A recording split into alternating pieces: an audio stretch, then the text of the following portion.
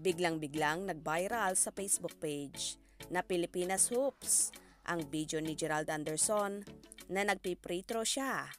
Matagal na ang video na yon dahil sa ibang team na nga naglalaro si Gerald. Nag-viral at biglang dumami ang comment dahil na rin sa sigaw ng isang fan na idol, isa pa para kay Kim Chu. Hindi na shoot ang bola sa ring, kaya mas dumami ang chika.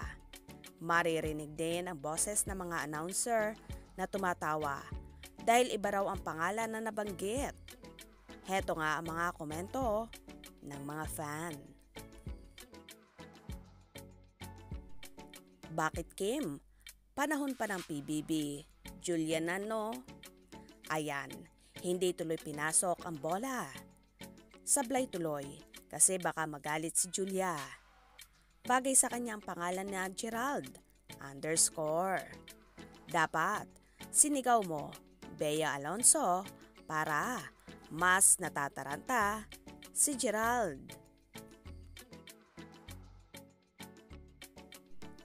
Kagigising lang siguro nung sumigaw o nakoma ng 17 years.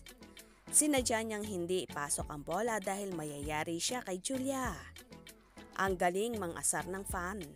Nawala sa focus si Gerald. Julia Barreto left the group.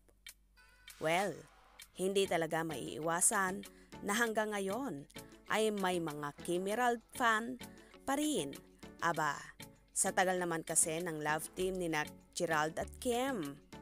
Talagang nakabuild na sila ng sangkatutak na tagahanga. Pero pwede rin naman na pang-asar lang yon kay Gerald para mawala sa focus. Kaloka, di ba?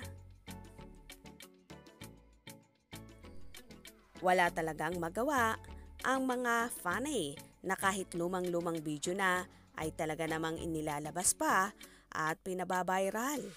Ano naman kaya magiging reaction dito ni Nasian Liam at Julia Barreto? For sure, tatawanan lang dahil matagal na ito at baliwala na sa kanila. Kaya naman tumutok at huwag pahuhuli sa mga maiinit na kaganapan.